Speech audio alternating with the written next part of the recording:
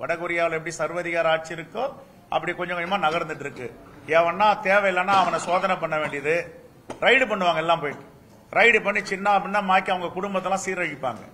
உடனே குற்றப்பத்திரிக்கை தாக்கல் செய்வாங்க எஃப்ஐஆர் போட்டு. குற்றப்பத்திரிகை தாக்கல் செஞ்சு இத்தனை ஆயிரம் கோடி பறிமுதல் செய்யப்பட்டது இத்தனை பத்திரங்கள் பறிமுதல் செய்யப்பட்டது. டைமண்ட் கோல்ட் வைடூரியம் முத்து பவளம் எல்லாம் கணக்காட்டுவாங்க உடனே பாஜகவில் சேர்ந்துட்டா அவர் கங்கையில குளிச்ச புனிதவானா மாறி பாஜக சேர்ந்தோடனே பாஜக துண்டு போட்டுட்டு வழக்குகள்லாம் எதிராக பண்ணுவாங்க. அப்ப இது எதை நோக்கி போகுது?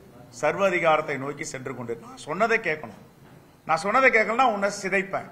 உன்னை சித்திரவதைப்படுத்துவேன். உன்னை அவமானப்படுத்துவேன். பாஜகவில் சேர்ந்துட்டா உன்னை புனிதவனாக்கிடுவேன். அப்ப வடகொரிய அரசியல் இங்க தலையை காட்டுதில்லை